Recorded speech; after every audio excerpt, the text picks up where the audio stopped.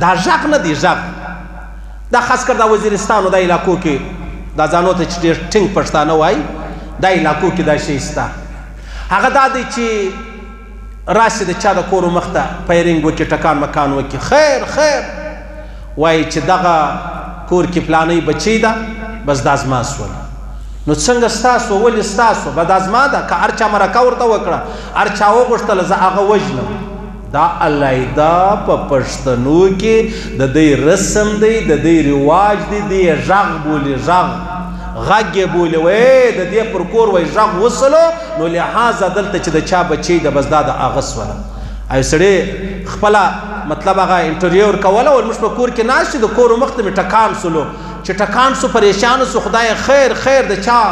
کور خراب سو څوک وجل سو چلاوال اوس د باندې راووتو یو ځوان راغلی زما د کور مخ ته ټکان وکول په دې کور کې چې کومه بچی دا غز ما ده د نن بعد که هر چا یا مرکه ورته وکړه یا وغوښته زه هغه وژنم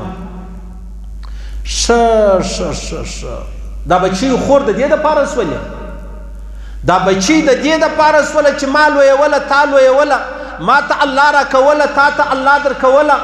ما په خپل کور کې د ځان د پاره عزت او جنت بللی و تا په خپل کور کې د ځان د پاره عزت او جنت بللی و نن تراله د کوم خواراله پیرنګونی د کور مخ ته وک اوس په د لور ستاسو د خور ستاسو ژوند خدا نه دی دا خود سپی ژوند دی عزیزانو پر دې بسرونه قربانو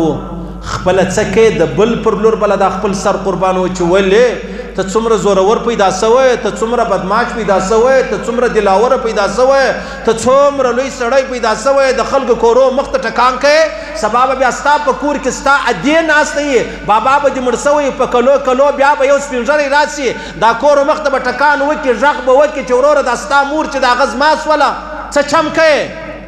نو خو بیا مړی کوي بیا ټکان کوي بیا بدی کوي بیا قتلونه کوي نو چې ستا د کور دا حال دی د بل مسلمان د کور بیا ولې به عزت چې دا هغه کوي تاسو دا خبره په غور واورئ مکوئ قطعا مکوئ وار عسمی ما اخرت تباد زمشتي د ټولو بیا هسیم د الله په دربار کې ګرم یو بیا هسیم د الله په دربار کې موږ مطلب مجرمان یو او بیا چې راولاړ سو بیا د پیرنګون نو ټکانو کسی چې وکړو نو بیا به د چا کور زول ور خرابوم زه به د چا کور ولې ور خرابوم